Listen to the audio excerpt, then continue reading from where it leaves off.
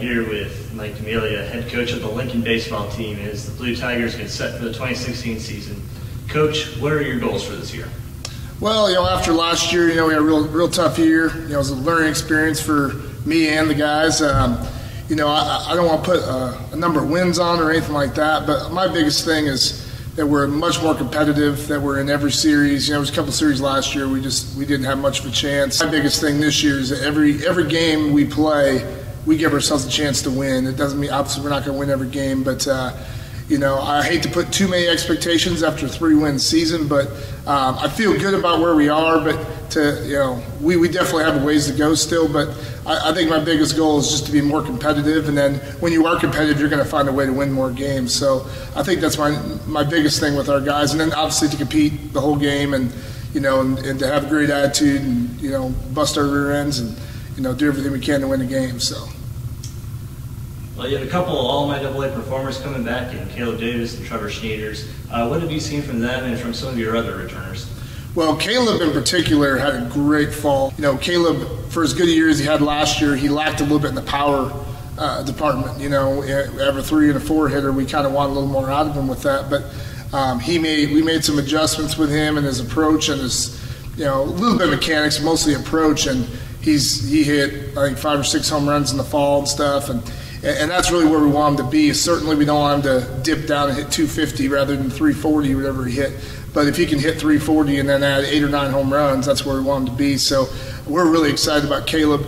Uh, Trevor, same thing. I don't think quite has as much power as Caleb, but he's a guy we need to hit a few more extra base hits. And certainly on the mound, Trevor's going to be huge. Trevor actually is getting moved. Uh, he was our number one starter last year, we're actually moving him to, to the closer role because um, I feel like we have some starters that can get us there. And I still feel like he's our best arm, but I, I think if we get a chance to win a game, we're going to go to him. And uh, he proved last year he could compete in this league. And he had a couple rough outings, but all in all, he gave us a chance to win every time he was out there. So we're really excited about both those guys. And any of your other returners that uh, have made some strides during the offseason?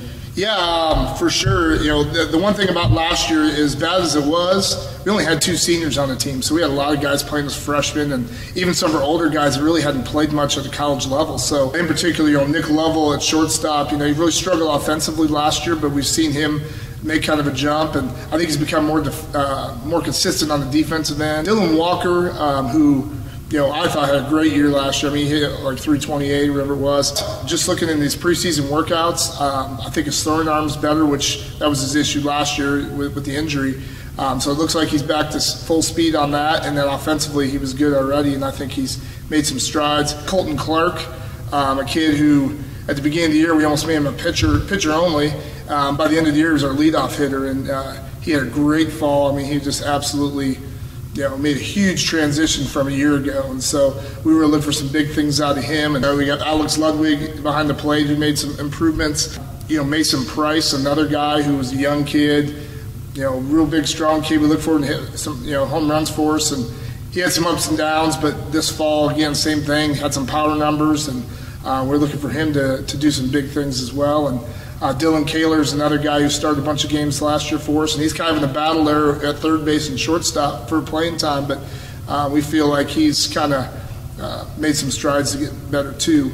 Uh, pitching wise, uh, Tyler Roberts, the guy who we started quite a few games last year, very inconsistent, but he had a couple moments where he was really good. And this fall, um, way more consistent, uh, consistency out of him, um, filled up the zone. Um, you know, he's not an overpowering guy, but he's, he should give us a chance to win every time he pitches. You know, with him being a true freshman, very mental, um, you know, he, he definitely lost confidence at times, but I feel like he's made strides, not only physically, but emotionally.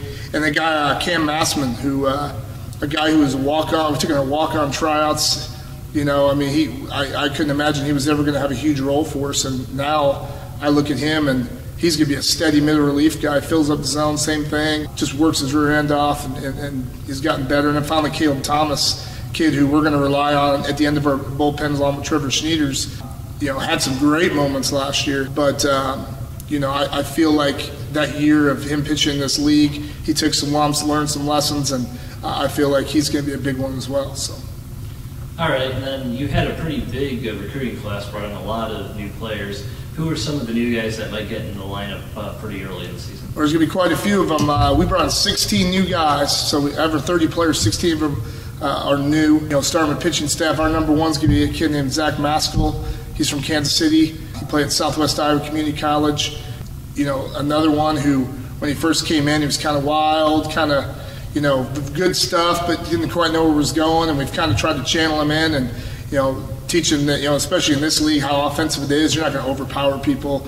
You know, he has good stuff, but if he relies on his command and getting ahead of hitters and things like that, he should be good. And uh, so we feel like he's going to be really good for us. Um, Cody Stegman is a, a transfer um, this year. He's coming off an injury, an ankle injury over the last summer, so we didn't get to see him in the fall. But in these preseason workouts, he's been really good. Kind of same thing as Zach. Sometimes he tries to, you know, uh, you know, do too much. He tries to be perfect, and we're just like, hey man, get a, you know, rather than try to strike every guy, let's get ground ball shortstop, you know, or something like that. And, um, so he's he's really come along. Riley Cruz is a guy who uh, is a transfer from uh, Oklahoma Panhandle State. He just came at semester. wasn't 100% sure what to expect of him, but his bullpen so far, strike thrower. He's going to be a you know possibly a four starter or a, a middle relief guy, and, and so we feel really good about him. He's going to again same thing, give us a chance. You know, he's not going to walk people. He's going to make you beat him and. Um, so we feel really good about him. The other uh, pitcher I forgot to mention earlier was uh, Zach Moore, uh, converted outfielder. Um, you know, he uh, I kind of call him new because he was an outfielder last year, so uh, he wasn't on my mind with uh, returning pitchers. But Zach's gonna be another guy, same thing, strike thrower, competitive kid, and I, I think he'll give us a really good chance to do well you know, uh, behind the plate, we have a kid named Jackson Weaver, or Jackson Walker. I got Jackson Weaver as well. Uh, he's a transfer from Missouri State. Um, you know, he should start for us as a, as a redshirt freshman.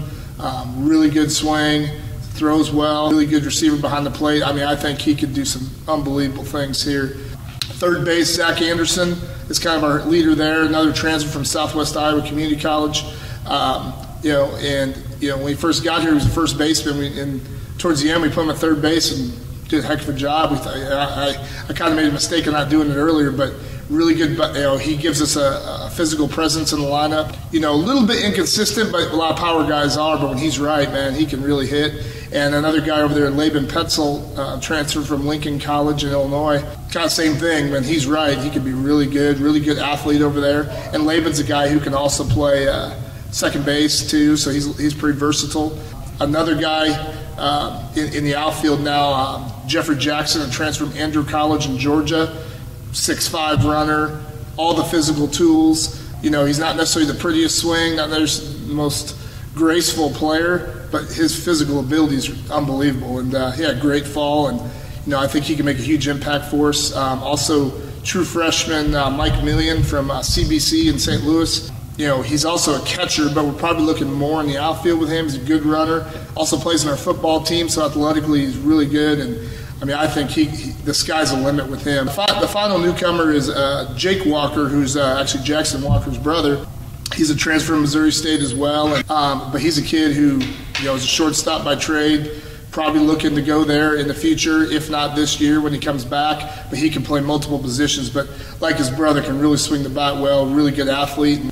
And finally, what's it going to take for your team to be competitive in a tough MIAA? Well, as I said earlier, you know, with with the offenses in this league being as good as they are, it all starts with pitching. You know, we're not, you know, last year our pitching numbers were not good at all, and we don't have to be the best pitching staff in, in the league, and you know that, that's an unrealistic goal. But the biggest thing is, is I've kind of when I talked about the pitchers, we have to make their team beat us. There were many games last year where not only do we get hit around, but we walk people, we hit people, and things like that. And so I think everything starts with filling up the zone you know, we've kind of, as our pitching staff, we've kind of, you know, our mantra. We don't care how many hits we give up. We're just going to make the other team beat us. We're going to try to give up less extra base hits. At the end of the day, if they get 15 hits and 15, 15 of them are singles, we got a chance to win that game. You know, if we could just keep, you know, not not walk people, you know, not hit people, and then of course keep keep extra base hits to a minimum. Um, so I think that is the number one key because I really feel like we're going to score some runs Again, certainly we're not going to be the best offense in MIAA, but I feel like we're going to be competitive enough offensively that if our pitchers just give us a chance, um, that we can, you know, they can hold the team to five or six runs, we got a chance to win that game. Um, and then, of course, defensively, you know, along with that pitching, of course, we have to be solid there. Um, I feel we have more speed in the outfield, so I feel like we can make plays there. I think we're ex- more experienced in the infield. So I feel like pitching is our number one thing, and that's probably true with about every team. But I really think it's huge with us. And again, we'll we'll probably be last in the conference in strikeouts. Don't really care about that. As long as uh, again we make the other team beat us. At the end of the day, if we could if we could throw strikes and um, you know and whatever happens happens, we'll, we'll, we'll make the best of it. So, um, but I, I feel like. Uh, you know, if, if we can be really good on that area, we're going to be tough. So, All right, coach. Good luck this season. thank you.